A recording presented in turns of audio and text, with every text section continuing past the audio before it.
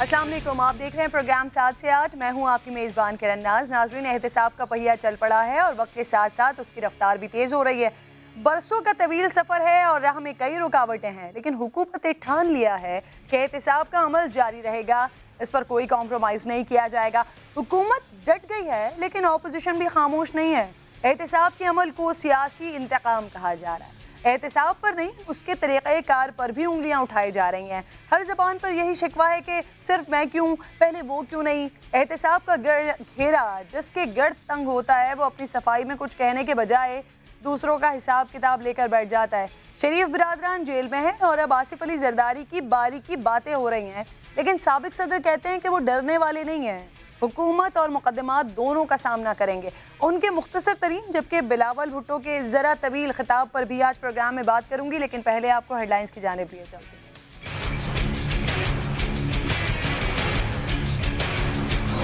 आपने बेनामी अकाउंट्स का इन्वेस्टिगेशन तो किया। अगर हिम्मत है, अगर हिम्मत है तो बेनामी वज़ीर आसम का इन्वेस्टिगेशन करो। मुल्क की बागडोर, एक ना तजर्बेकार वज़ीर आज़म को दे दी गई नोडेरों में बिलावल भुट्टो की घन गरज। भुट्टो की लड़ाई अगले मोर्चों पर खुद लड़ने का ऐलान। बोले ढूँढने, मनी लॉन्ड्रिंग चले थे, लॉन्ड्री और नाश्ते के बिल ढूंढ लाए।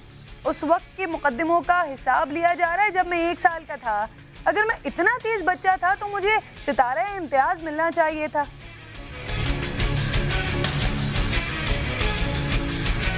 कि ये जो जेआईटी रिपोर्ट है, झूठ झूठ और सफ़ेद झूठ है। ये तो चले थे मनी लॉन्ड्रिंग की इन्वेस्टिगेशन करना और ढूंढ के ले आए लॉन्ड्री वाला। मेरे नाश्ते का बिल भी मिल जाता है। इनका मुकाबला करेंगे, कोर्टों में भी करेंगे, वैसे भी करेंगे, जहाँ ये आएँगे, वहाँ हम लड़ेंगे।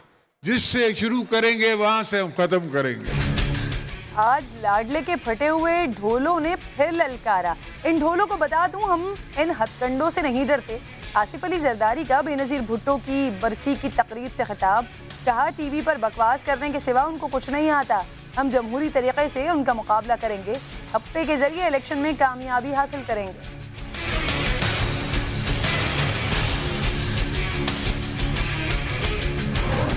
जेआईटी ने जिन जिन लोगों को अक्यूज़ किया है, उनके नाम शामिल हैं।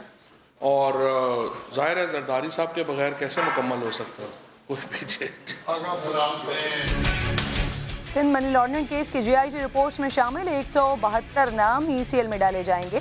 वज़ीर इतलात फवाद चौधरी ने काबीना का फैसला सुना दिया। बोले, कौमी ख़जाने के एक एक रुपए का हिसाब होगा। एहतसाब का अमल बगैर किसी खौफ खतर जारी रहेगा। फवाद चौधरी से जरदारी की गिरफ्तारी का सवाल जवाब में इनशाला कह दिया।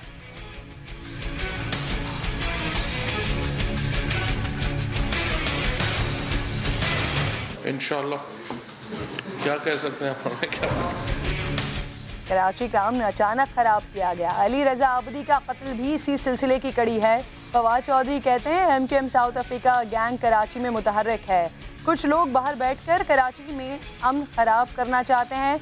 बानिया मुतहदा की इश्तियाल अंगेज तकारीर का मामला बरतानवी हुकूमत के साथ उठाएँगे।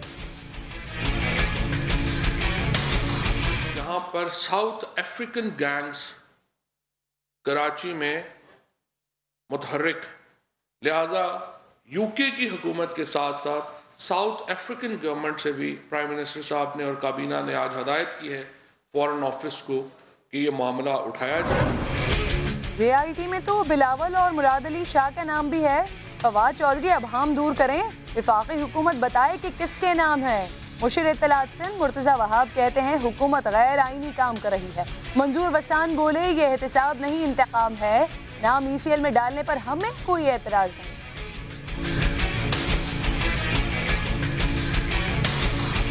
2019 में ये हुकूमत की कोशिश हो गई कि मुखालफी को पीपल्स पार्टी वालों को किसी न किसी झूठे केसेस में फंसाएँ। लेकिन 2020 उनके लिए भी बड़ा अहम साल होगा जो दुश्वारियाँ कुछ चीज़ों में नैब इंडिपेंडेंट है। कुछ चीज़ें कुछ इन्फॉर्मेशन हम शेयर कर देते हैं। वो उसमें नैब की अपनी भी जुडिक्शन है और उनकी अपना प्रोरोगेटिव वो क्या लें तो उसके सामने ये सबके साथ शेयर है। पंजाब हुकूमत घपलों की तफसीलात नैब को दे रही है। नैब कार्रवाई करेगा तो हम सब बताएँगे। तर्जुमान वज़ीर अला पंजाब शहबाज गुल का बड़ा इंकशाफ। बोले, पंजाब हाउस के डिफॉल्टर्स को नोटिस भिजवा दिए, रिकवरी करेंगे। ना हुई तो मुकदमा दर्ज करवाएँगे। मेरे तहफात थे पब्लिक अकाउंट कमेटी में, और आज भी मैं सोच रहा हूँ। पहले मैं खान साहब से, कल मुझे बताना याद नहीं रहा, कल मेरी दो दफ़ा मीटिंग हुई उनके साथ। मैं सोच रहा हूँ कि मैं सुप्रीम कोर्ट में जाऊँ पब्लिक अकाउंट कमेटी की अपॉइंटमेंट के खिलाफ। शेख रशीद का पीएससी चेयरमैनशिप शहबाज शरीफ को देने के खिलाफ अदालत जाने का इंदिया बोले, शहबाज शरीफ की गोटी फिट है, वो विकेट के दोनों तरफ़ खेलते हैं। शहबाज शरीफ की बात न मानने पर नवाज़ शरीफ इस मकाम पर पहुँचे। पेशगोई कर दी कि मुस्तबिल में नवाज़ और जरदारी खानदान की सियासत नहीं देख रहे।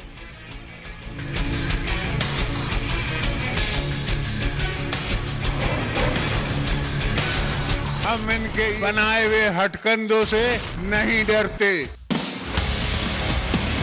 और किसी पार्टी की इतनी हिम्मत नहीं है। हम वैसा इनको मुकाबला करेंगे और इनको जवाब देंगे। ये जो जे आई टी रिपोर्ट है, झूठ झूठ और सफ़ेद झूठ है। ये मुझे इस नाम नेहाद और यकतरफा एहतसाब से नहीं डरा सकते। हमने इस एहतसाब कोरे जेलें और फांसियाँ देखी। तुम किस खेत की मूली हो? तुम्हारी क्या हैसियत है? तुम तो सिर्फ़ कठपुतली हो। तुम्हारी दौरे तो कोई और हिला रहा है।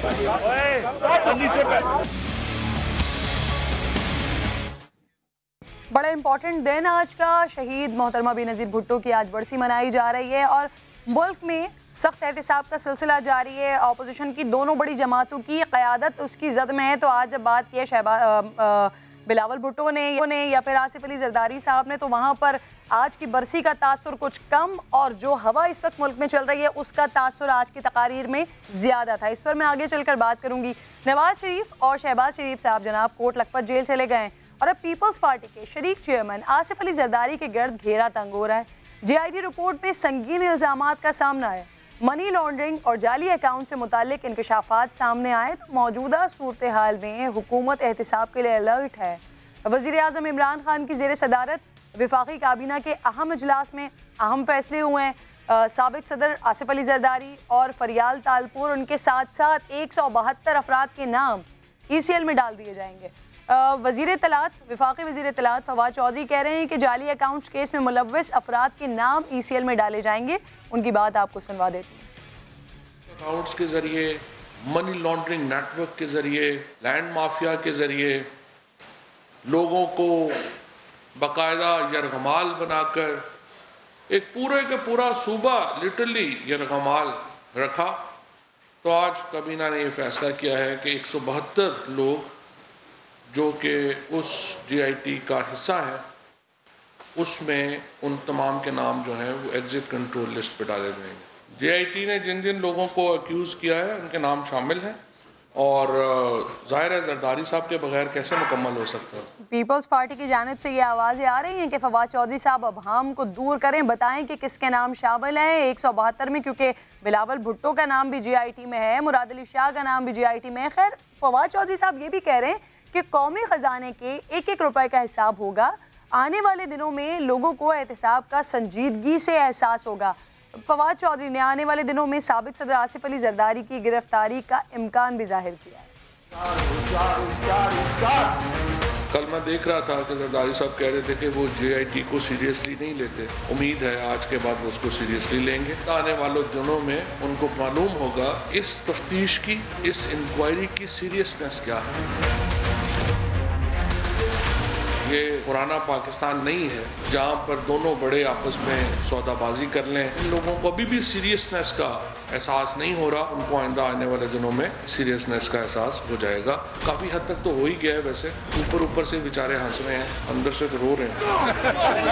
हम एश्योर करते हैं चेयरमैन नैब को नैब के अफसरान को बिल्कुल यकीनी बनाया जाएगा, वो अपना काम बिला खौफ ख़तर करें। जे आई टी के अरकान हैं, इनको भी मुकम्मल सहूलत सिक्योरिटी की दी जाएगी। से बयान सोशल मीडिया पे चल रहा है। इकतीस तारीख से पहले आसिफ जरदारी गिरफ़्तार हो जाएँगे इंशाल्लाह।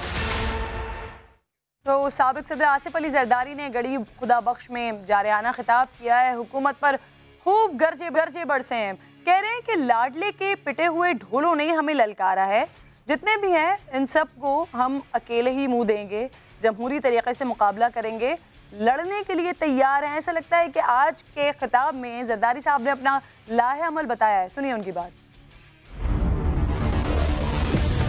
लाडले के फटे हुए ढोलों ने हमें फिर ललकारा है। लाडले को बता देना चाहता हूँ कि हम इनके ये बनाए हुए हटकंदों से नहीं डरते।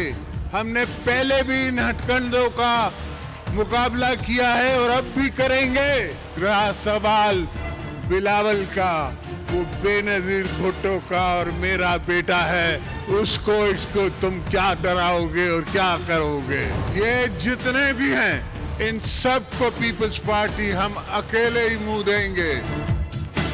और किसी पार्टी की इतनी हिम्मत नहीं है, मगर मेरे जाले की इतनी हिम्मत है। जिससे शुरू करेंगे, वहाँ से हम खत्म करेंगे। तो जिस तरीके से इनने आना है, हमें कोई मसला नहीं है। हम दोनों बाप बेटा भी खड़े हैं, पूरी मेरी पार्टी भी खड़ी है। आसिफ अली जरदारी की तकरीर से इस बात का अंदाज़ा हो रहा है कि सूरत हाल काफ़ी पेचीदा है। पीपल्स पार्टी की सफ़ों में भी परेशानी है। जरदारी साहब की तकरीर इस बात का तासर दे रही है। बेनज़ीर भुट्टो की बरसी के मौके पर आसिफ अली जरदारी की ज़बान पर बेनज़ीर भुट्टो का नाम सिर्फ़ एक बार आया। सारी तकरीर में हुकूमत को ही ललकारते रहे। वैसे पी पीटीआई हुकूमत को तो बिलावल भुट्टो जरदारी ने भी आज नहीं बख्शा। काफ़ी जोशीला खिताब था उनका।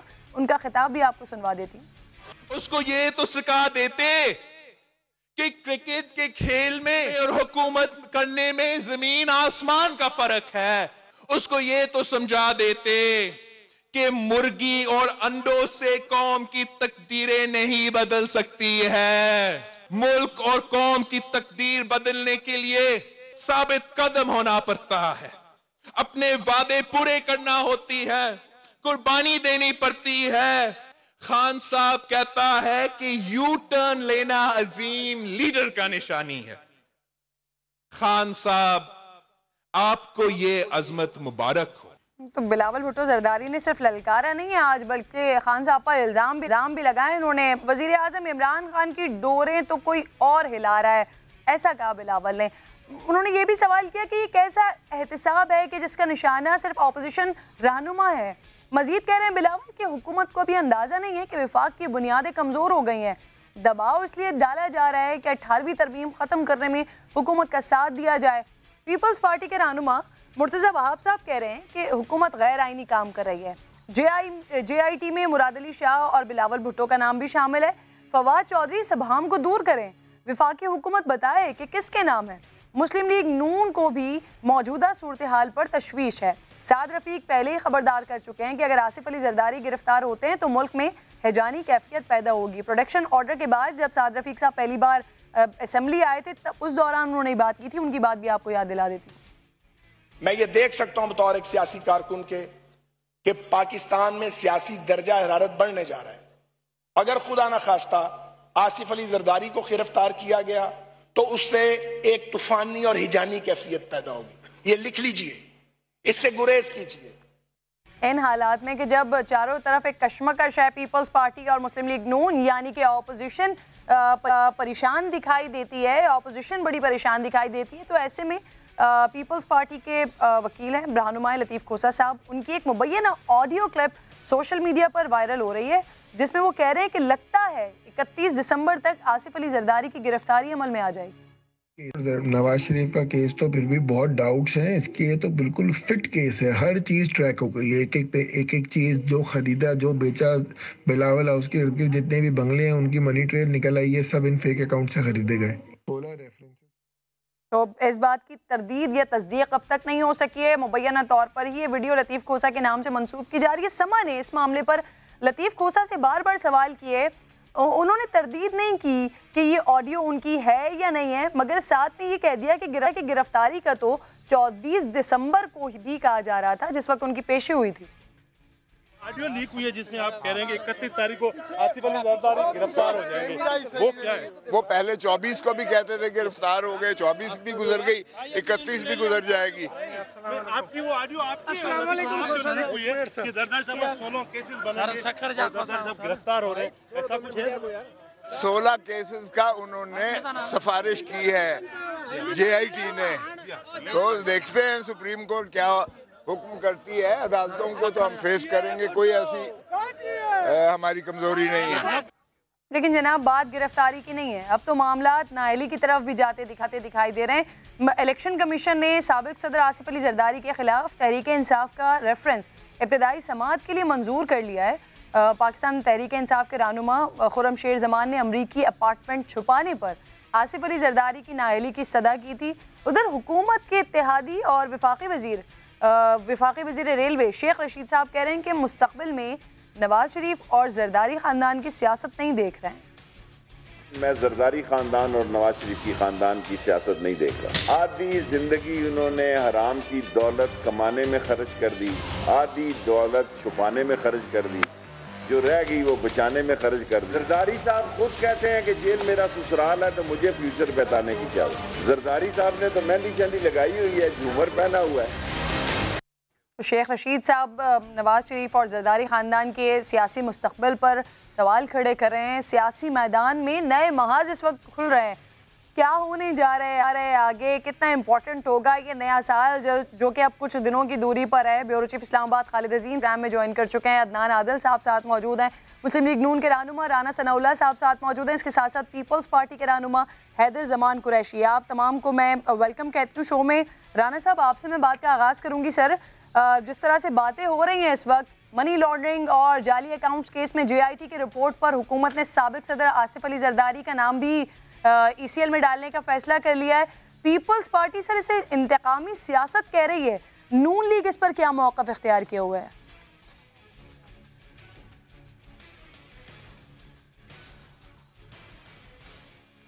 राना सनाउल्ला साहब की जानब मैं दोबारा आती हूँ। खालिद अजीम साहब, आपकी जानब यही सवाल लेकर आती हूँ। सर, मुझे बताइएगा क्या लगता है आपको जिस वक्त नवाज़ शरीफ साहब के केसेस चल रहे थे, उनके लिए उनका भी इसी तरह का एक जारहाना मिजाज सामने आ रहा था। अब जब आसिफ अली जरदारी साहब के ऊपर और इस तरह की बातें भी हो रही हैं, पहले 24 दिसंबर की, अब इकतीस दिसंबर के हवाले से जो बातें हो रही हैं, जारहाना मूड नवाज़ जरदारी साहब का भी सामने आ रहा है। सियासी माहौल आप बिगड़ता हुआ देख रहे हैं या बेहतर होता हुआ देख रहे हैं आगे?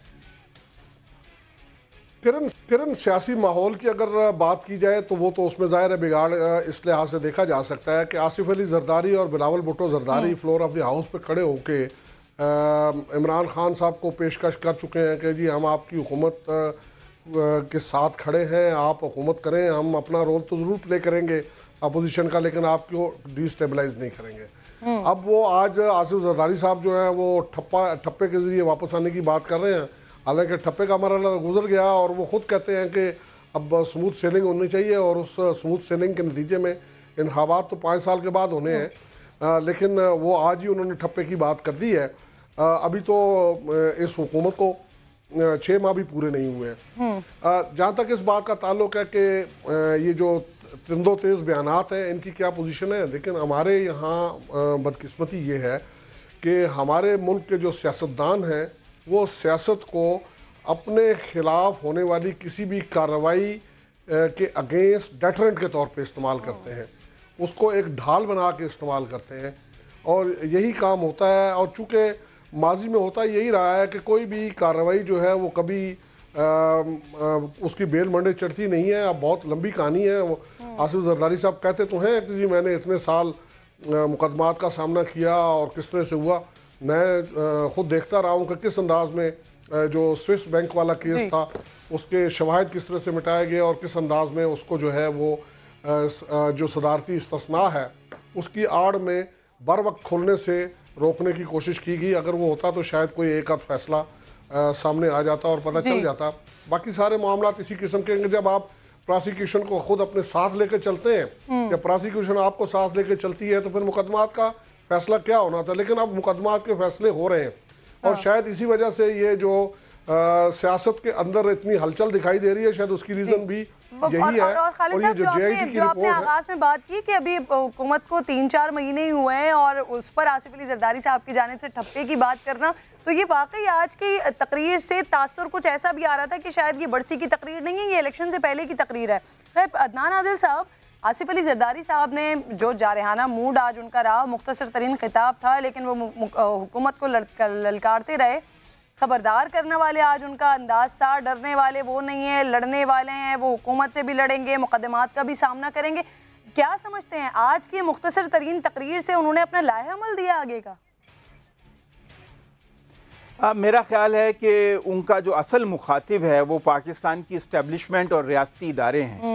उन्होंने मैसेज जो दिया है वो ये दिया है कि अगर आप उन्होंने कहा कि विफाक की बुनियादें कमज़ोर हो रही हैं असल में इस जुमले का मतलब ये है कि अगर आप हमें करप्शन में फंसाएँगे हमारा ट्रायल करेंगे तो फिर विफाक जो है कमज़ोर होगा हम ताउन नहीं करेंगे। इस तरह उन्होंने बहुत से ऐसे इश्यूज़ उठाए मसलन पश्तून तहफ़ मूवमेंट का नाम लिए बगैर उन्होंने उसकी बहुत खुलकर हिमायत की बिलावल ने और फिर उन्होंने काला बाग डैम का इशू उठाया कि उसको क्यों उसकी उसके हक में तहरीक क्यों चलाई जा रही है? हालाँकि कोई हमें तहरीक नज़र नहीं आ रही है। फिर उन्होंने कहा कि सिंध के मुफादात को रद्दी की टोकरी में डाला जा रहा है। सिंध सिंध के मादनियात और वसाइल पर कब्जा करने की कोशिश की जा रही है। वन यूनिट कायम करने की कोशिश की जा रही है। मालियाती इख्तियार छीनने की कोशिश की जा रही है। उनका असल मुखातिब जो था वो पाकिस्तान की इस्टेब्लिशमेंट थी और वो ये कहते भी रहे कि इमरान खान तो कुछ भी नहीं है ये तो किसी और के कठपुतली हैं। तो वो जो और है उससे वो मुखातिब थे और वो कह रहे थे उनका मैसेज बिल्कुल क्लियर था वाजे था कि अगर आप हमें करप्शन के मामला में फंसाएँगे तो फिर हम विफाक को नहीं चलने देंगे हम हम उसके लिए मुश्किल पैदा करेंगे मसाइल पैदा करेंगे। उन्होंने ना इलेक्शन का रास्ता है ना उनके पास एजिटेशन का रास्ता है। इलेक्शन तो अभी साढ़े चार साल से ज़्यादा अरसा पड़ा है होने में। और जो एजिटेशन की उनकी पार्टी में कोई सख्त नज़र नहीं आती अलबत्ता वो सिंध कार्ड खेलकर सिंध के आवाम के जज्बात को भड़काने की उन्होंने पूरी कोशिश की। उन्होंने कहा हम जुल्फ़ार अली भुट्टो के कत्ल का हिसाब लेना चाहते हैं। वो क्यों नहीं दिया जा रहा? बेनज़ीर भुट्टो के कत्ल का हिसाब क्यों नहीं दिया जा रहा? हालाँकि वो तो खुद भी हुकूमत में रहे दस साल से सिंध में हुकूमत में है। उन्होंने क्या किया? वो विफाक में भी पाँच साल हुकूमत में रहे लेकिन उन्होंने ये सवाल उठाकर सिंध के आवाम को जज्बाती करने की कोशिश की है उनके जज्बात को भड़काने की कोशिश की है। उनका लाया अमल ये है कि सिंध में पब्लिक ओपिनियन बनाई जाए और अपने जो करप्शन के इल्ज़ाम उनके खिलाफ सामने आए हैं जीआईटी की सूरत में एफआईए की उसको वो सियासी इशूज़ की गर्द में छुपाना चाहते हैं। हाँ, और उसके तो, लिए उन्होंने बहुत धुआंधार तकरीरें की जारहाना तकरीरें की। तो जिस जानिब आप इशारा कर रहे हैं कि वो वो चाह क्या रहे हैं उनकी कोशिश क्या है अब, अब जज्बात भड़काना चाह रहे हैं आप सिंध की आवाम का तो खालिद साहब कोई फ़ायदा हासिल हो सकता है इस तरह की तकरीर के बाद आसिफ अली जरदारी साहब को? देखिए जी दो चीज़ें हैं। एक तो इस बात को तो हमें मानना पड़ेगा कि सिंध के अंदर चूँकि कोई बड़ा मुखालिफ उनका मौजूद नहीं है कोई स्ट्रॉन्ग अपोजिशन नहीं है। जीडीए के नाम से कुछ लोग इकट्ठे हुए थे और उनके बारे में हमारा पहले भी यही ख्याल था अब भी यही है कि वो अपने अपने हलके की निशिस्त जीतने वाले लोग हैं। वो पहले अलग अलग इलेक्शन लड़ते थे अब वो इकट्ठे होकर इलेक्शन लड़ गए। उसके बाद उनकी सारी सूरत हाल जो है सामने आ गई। इसमें जो इलेक्ट्रल पॉपुलैरिटी है उसमें तो कोई शक नहीं। लेकिन अगर वो ये तो करते हैं कि वहाँ से वो कोई एजिटेशन मुनज़म कर लेंगे तो मुझे उसकी उम्मीदें कम लगती हैं। और कोई इस किस्म की चीज़ भी शायद वो पुराने जो तजुर्बात हैं उनके पेश नज़र वो बात कर रहे हैं किसी ज़माने में जब जुल्फ़िकार अली भुट्टो साहब को फांसी हुई थी तो उसके बाद अलजुल्फ़िकार बना के एक तरह से तकरीबी कार्रवाइयाँ वहाँ पर हुई थी और उसमें बहुत मुश्किल से उस पर उसके ऊपर काबू पाया जा, जा सका था। लेकिन मेरा ख्याल है कि आज शायद उनके पास उतनी स्ट्रेंथ भी नहीं है। और फिर देखें जुल्फकार अली भुट्टो की फांसी और किसी के खिलाफ करप्शन में कार्रवाई इन दोनों में ज़मीन आसमान का फ़र्क है। और फिर जब सबूत सारे के सारे एक्सपोज हो और ये देखें ये जो जेआईटी की रिपोर्ट है इसमें मैं एक चीज़ आपको और बता दूँ कि इसमें पाँच अरब रुपए के तो असासे वो हैं जो फेक अकाउंट्स में के थे और उनके उन जब एमएनएसटी स्कीम आई जून में तो उसके बाद उनको डिक्लेयर करके बाकायदा ऑन कर लिया गया है। जब इतने बड़े सबूत मौजूद होंगे तो फिर बड़ा मुश्किल होगा।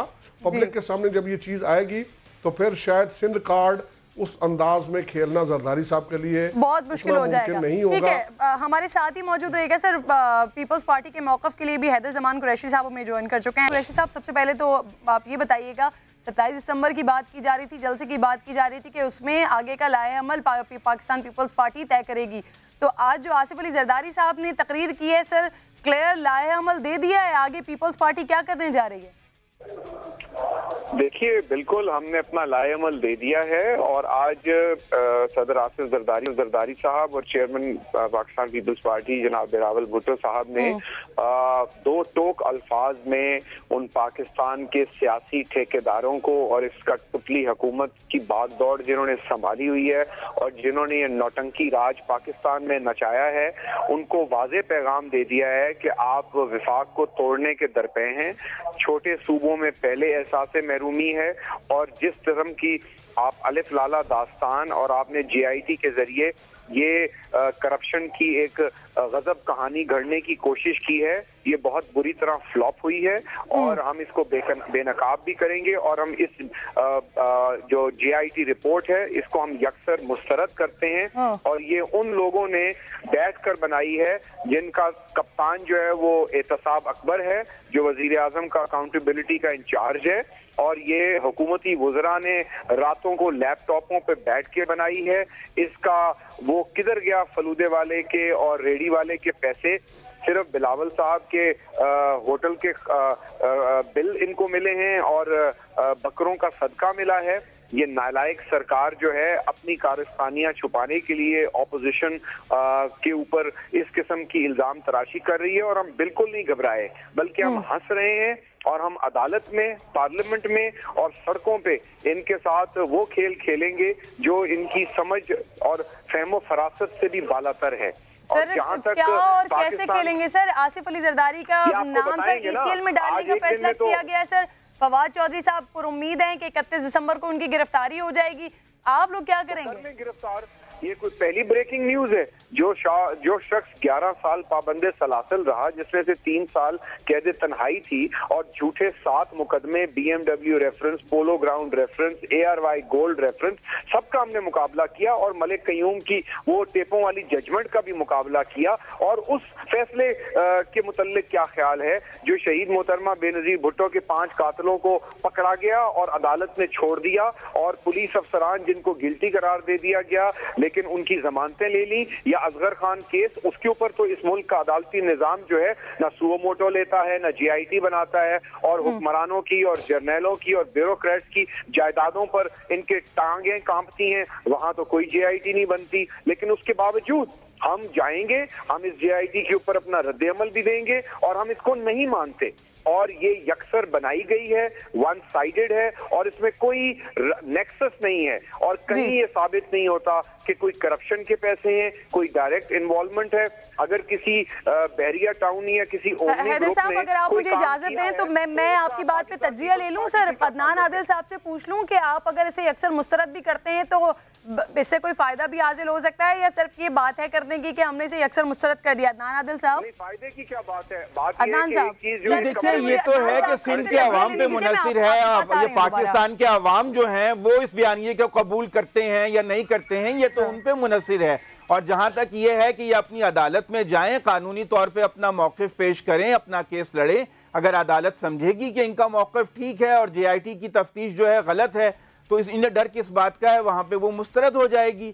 लेकिन जिस तरह ये जलसे में बातें कर रहे हैं, जिस तरह ये इशू उठा रहे हैं, पश्तून तहफ़ मूवमेंट का, कालाबाग डैम का, विफाक को कमज़ोर करने का और सिंध के हकूक पर डाका डाला जा रहा है, वन यूनिट डाला जा रहा है, उससे तो लगता है कि इनका कानूनी केस कमज़ोर है और ये सियासी जो गर्द है इतनी उछालना चाहते हैं जिसमें करप्शन के इल्ज़ाम छुप जाएँ और ये सिंध कार्ड खेलना चाहते हैं। हम्म। लेकिन अगर अगर सिंध के अवाम इनका बयानिया कबूल करते हैं तो सियासी तौर पर इनको हक हासिल है।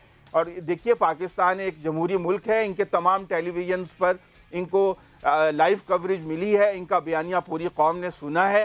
अब कौम को यह हक हासिल है कि वो इन पर लगे हुए इल्ज़ाम और इनका बयानिया सामने रखे और ये फैसला करे कि कौन सच कह रहा है कौन झूठ कह रहा है। अब ये कहना कि हम मुस्तरद करते हैं तो इससे तो कोई वो नहीं है। अगर आवाम कबूल कर लें इनका बयानिया फिर यकीनन हाँ। इससे फ़र्क पड़ेगा। फ़र्क पड़ेगा ठीक है। हैदर साहब मैं आपकी जाने आती हूँ सर। इसी आप इस पर इस बात पर रिएक्शन देना चाह रहे हैं लेकिन वक्त अभी ब्रेक का हो गया है। ब्रेक के बाद वापस आते हैं देखते रहिए।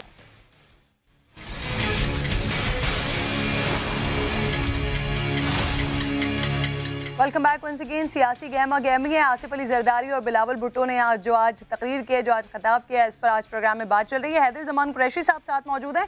हैदर साहब, बिलावल भुट्टो कह रहे हैं, कह रहे हैं कि ये मुकदमात पीपल्स पार्टी ने पहले भी इसका सामना किया है, बरी हुए हैं। आपने भी अभी यही बात की कि कोई पहली ब्रेकिंग न्यूज़ तो नहीं है, इससे पहले भी इस तरह की चीज़ें होती रही हैं। तो सर, फिर इस बार शोर ज़्यादा क्यों है? है कि हर एहतसाब की एक हद होती है हर मीडिया ट्रायल की एक हद होती है। यहाँ पे सियासतदानों की और खसूस पाकिस्तान पीपल्स पार्टी का आप तीन दिहाइयों से की भी एक हद होती है। हक से शुरू हुआ मुशर्रफ ने किया और अब ये एक मुशर्रफ की एक्सटेंडेड सरकार है ये जो डोंकी किंग सरकार है ये जनरल मुशर्रफ की बाकियात हैं। और इसके अंदर वही कुतें हैं इसके पीछे जो मुशर्रफ के साथी थे और मुशर्रफ को लाए थे और आज आप देखिए कि किसी और के ऊपर कोई बात नहीं हो रही यानी सुप्रीम कोर्ट का अपना ऑर्डर था। और आपको मैं ये रिकॉर्ड की बात कर रहा हूँ कि सुप्रीम कोर्ट का अपना ही ऑर्डर था कि जीआईटी रिपोर्ट जब तक फाइनल सबमिट नहीं होती जो है, आप, इसको इसको कहीं लीक नहीं करेंगे। मुझे ये बताएँ कि रिपोर्ट तो सुप्रीम कोर्ट में सील्ड सबमिट हुई, लेकिन उससे पहले कामरान खान और दीगर एंकर ने कहाँ से प्रोग्राम कर लिए? उनको किसने जीआईटी रिपोर्ट लीक की? और वो हुकूमती वज़ीर शहजाद अकबर जो है एहतसाब अकबर, वो कैसे बैठा रहा? और रात की तारीखियों में सारी रिपोर्ट को वो ड्राफ्ट करता रहा और रीड्राफ्ट करता रहा। तो हम इस किस्म के जो है बदनीति पे और बेईमानी पे और पॉलिटिकल वेंडेटे की बुनियाद पर जो एहतसाब है इसको हम मुस्तरद करते हैं और सर हम सर संगीन इल्ज़ाम लगा रहे हैं आप शहजाद अकबर के हवाले से कि वो रीड्राफ्ट करते रहे। बहरहाल बहुत बहुत शुक्रिया आप प्रोग्राम में साथ मौजूद थे। अजीम साहब तो इस बात पर भी कमेंट कर दीजिएगा जो अभी हैदर जमान कुरैशी साहब बात कर रहे थे और इसके साथ साथ सर अभी कुछ रोज़ कबल कुछ अरसा पहले कुछ एक डेढ़ दो महीने पहले आसिफ अली जरदारी साहब भी हुआ करते थे और पीपल्स पार्टी हुआ करती थी जो कहती थी कि हम ताउन के लिए भी तैयार हैं और हम चाहते हैं कि जमहूरियत आगे बढ़े। अगर हमसे ताउन मांगा जाएगा तो ताउन करेंगे। आज कह रहे हैं कि ये नाअहल हुकूमत है अगर दोस्त ममालिक साथ दे भी रहे दे भी रहे तब भी इनसे हुकूमत नहीं चल सकती। जी फ्लोर ऑफ़ द हाउस पे खड़े होकर भी उन्होंने मौजूदा हुकूमत ये जिनको आज ये डोंकी किंग कह रहे हैं डोंकी किंग को इन्होंने कहा था कि आप हमारे वज़ीर आज़म हैं और हम आपको आप कदम बढ़ाएँ हम आपके साथ हैं। जी। लेकिन वो जब कदम इनके उनके कदम तो अपनी जगह पे हैं इनके कदम कहीं लड़खड़ाने लगे हैं तो इन्होंने शोर मचाना शुरू किया हुआ है। एक बात को वो बार बार फरामोश कर रहे हैं कि ये जे किसी हुकूमत ने नहीं बनाई ये सुप्रीम कोर्ट की बनाई हुई जे है उसको आप मुस्तरद कर रहे हैं तो मुस्तरद करेंगे आप लीगल तरीके से। जुबानी मुस्तरद करने से कुछ नहीं होता। ये जुबानी जमा खर्च जो है मुमकिन है आपको थोड़ा बहुत कुछ सियासी फ़ायदा या आपका जो वर्कर है उसके दिल को थोड़ा सा हौसला दे दे। लेकिन फैक्ट यही है कि हाँ। इससे जान सिर्फ़ और सिर्फ़ लीगल कोर्स से बरी होने के बाद ही छूट सकती है। अगर वहाँ आप अपने आप को बेगुनाह साबित न कर सके हाँ। फिर मुश्किल है। फिर आपके इससे भी ज़्यादा बड़े बयानिए हो। नवाज़ शरीफ ने कौन सा बयान नहीं दिया था? हम्म, और हम्म। रोक सको तो रोक तो लो, रोक लो की बात जो है वो उस वक्त मरियम नवाज़ साहबा ने भी की। नवाज़ शरीफ साहब जो है वो बार बार सवाल करते रहे मुझे क्यों निकाला? वो इन सारी चीज़ों से मुमकिन है अपने वर्कर को तो आप बहला लें लेकिन कानूनी तकाजे पूरे नहीं होते। अब हाँ। ये कानूनी प्रोसेस है और ये कानूनी ज़रिए से इसको जी बिल्कुल जो आपने कानूनी प्रोसेस और कानूनी ज़रिए की बात की तो सर अदनान आदिल साहब ये जो जाली या बेनामी अकाउंट किसने और क्यों खोले फिर इनमें रखा जाने वाला पैसा कहाँ से आया? अब कड़ी से कड़ी मिलने के बाद जो खालिद अजीम साहब बात कर रहे हैं क्या लगता है आपको पीपल्स पार्टी के लिए मजीद मुश्किल बढ़ेंगी अब आगे? जी मेरे ख्याल में तो ज़रूर बढ़ेंगी और वो ब्लैक मेलिंग करने की कोशिश कर रहे हैं आज जो जरदारी हम्म। साहब की तकरीर थी और बिलावल भुट्टो जरदारी की जो तकरीर थी वो तो रियासत पाकिस्तान को और रियाती इदारों को ब्लैक मेलिंग करने की एक खुली कोशिश थी हाँ। कि देखिए अदलिया को भी वो दबाव में लाना चाहते हैं कि हम अदलिया वो एक मैसेज दे रहे हैं कि देखो हमें हमारा ट्रायल मत करो हमें छोड़ दो वरना फिर हम तुम्हारे लिए विफाक को चलना जो है वो मुमकिन नहीं नामुमकिन बना देंगे। उन्होंने ऐसे इश्यूज़ छेड़े हैं कि उन्होंने कहा कि ये अठारहवीं तरमीम फ़सल में ख़त्म करना चाहते हैं। कोई बात भी नहीं कर रहा, लेकिन वो उसको पता नहीं कहाँ से ले आए हैं। कह रहे हैं कि कालाबाग डैम बनाना चाहते हैं, सिंध के वसाइल पर कब्जा करना चाहते हैं। यानी वो सिंध के आवाम को खौफजदा कर रहे हैं कि देखो, असल में तुम्हारे हकूक पे डाका डल रहा है, हमारी करप्शन के ऊपर नहीं डल रहा है। तो हम्म। मैं नहीं समझता हूँ कि सिंध के अवाम इतने सादा हैं कि वो जरदारी साहब के कारनामों से वाकिफ नहीं है। सिंध के हर शख्स को पता है कि जरदारी साहब और फरियाद तालपुर क्या करते रहे हैं क्या कर रहे हैं।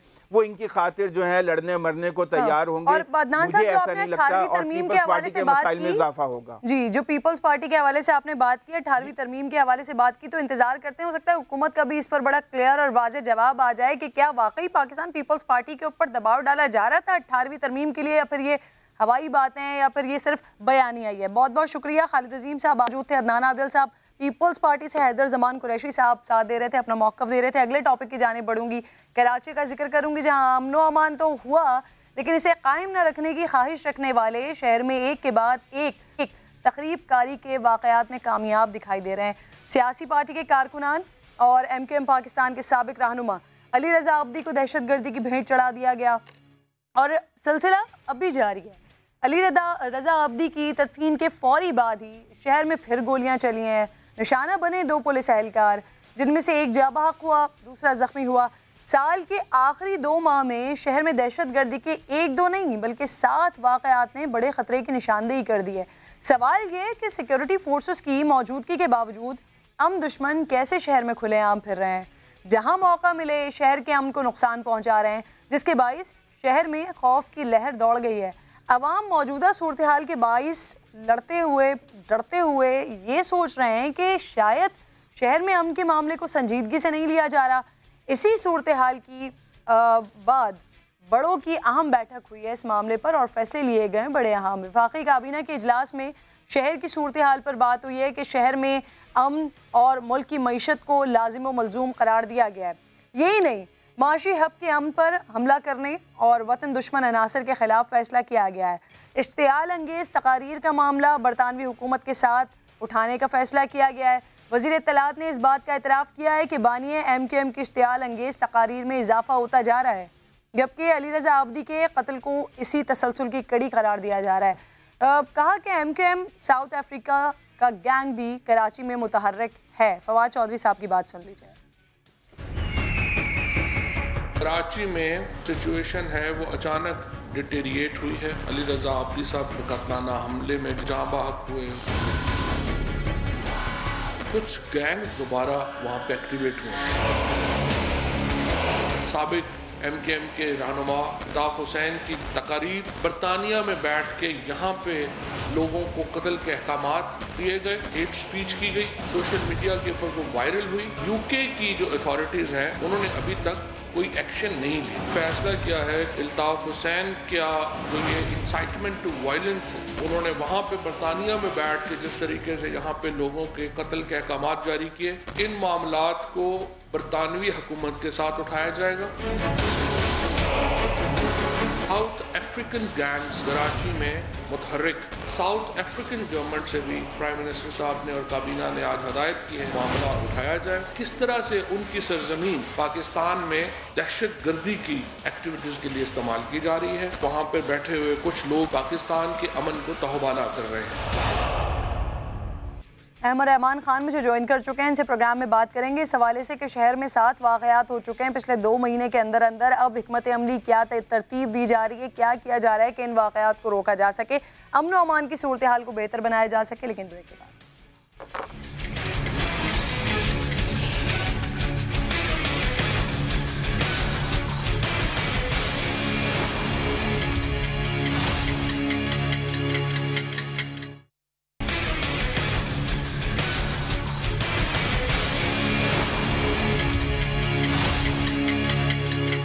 कराची में अमन अमान की सूरत हाल पर बात करने के लिए अमर रहमान खान इस वक्त स्टूडियो में मेरे साथ मौजूद है। अमर अली रजा अब्दी के कत्ल की तहकीकात के हवाले से एक नई फुटेज भी आई है। पुलिस को क्या मदद मिली है इससे? तफ्तीश कितनी आगे बढ़ी है अब तक? जी देखिए तफ्तीश अभी एक तीन जो है वो एनी शाहिदीन पुलिस को जो है वो मिले हैं और ये एक बड़ी अचीवमेंट इस लिहाज से करार दी जा रही है कि पहले तो कोई सामने सामने नहीं आ रहा था ये नहीं बता रहा था ये वाक़ किन मुलजमान ने किया है? क्योंकि सीसीटीवी फुटेज में भी मुलजमान की शक्लेबाजी नहीं है वो टोपियाँ लगाए हुए हैं कैप्स पहने हुए हैं। हाँ। तो पुलिस के लिए ये एक बड़ा चैलेंज था कि मुलजमान का पता किया जा सके। तो तीन एनी शाहिदीन वाक़े के सामने आए हैं उनके बयान भी कलमबंद किए गए हैं। फिर उसके बाद पुलिस ने उन्हीं की मदद से और अली रजा आबदी के वालिद की मदद से कोशिश ये की जा रही है कि स्केच तैयार किया जा सके मुलजमान का ताकि स्केच से मुलजमान तक पहुँचा जा सके। तो ये एक बड़ी चीज़ है जिस पे इस वक्त पुलिस जो है वो फोकस कर रही है। साथ ही साथ वाकई की दो सीसीटीवीज मजीद जो है वो सामने आई हैं। उनको भी मद्देनजर रखा जा रहा है। जो एक सीसीटीवी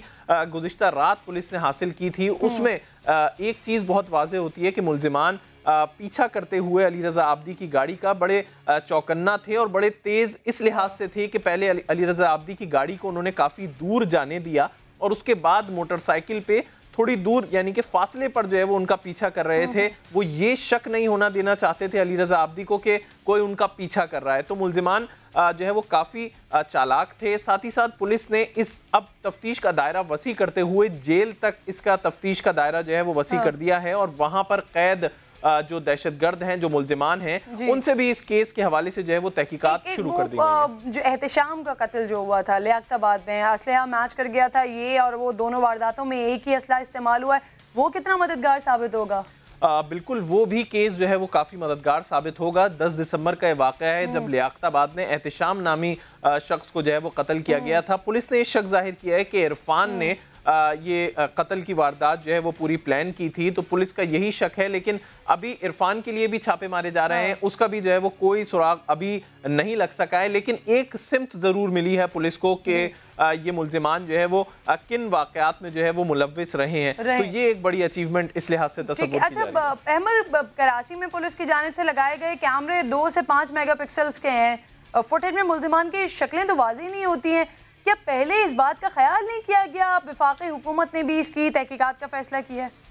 जी देखिए बड़ी अफसोस की बात है कि कराची इतना बड़ा शहर और उसमें सिर्फ़ 2150 कैमरे जो कि पुलिस की जानब से लगाए गए हैं वो लगे हुए हैं। और वो कैमरे भी पुलिस के लिए किसी किस्म के मददगार साबित नहीं होते हैं। रवा साल डेढ़ सौ पुलिस क्लेम करती है कि। डेढ़ सौ के करीब मुलजमान हैं जो उन्होंने गिरफ़्तार किए हैं। सीसीटीवी फुटेजेस की मदद से। और ये तादाद इंतहाई कम है। वारदातों के तनासब से ये तादाद कुछ भी नहीं है। ये भी जो मुलजिमान है ये सीसीटीवी फुटेजेस वो नहीं है जो सरकारी कैमरों से हासिल की गई है। इनमें ज़्यादातर घरों से पर लगे हुए सीसीटीवी कैमरों की मदद से ली गई। हैं। तो जो कैमरे लगे हैं शहर में उन एक तो उनकी तादाद बहुत कम है। दो से पाँच मेगापिक्सल के हैं जिसमें मुलजिमान की शक्लें वाजे नहीं होती हैं।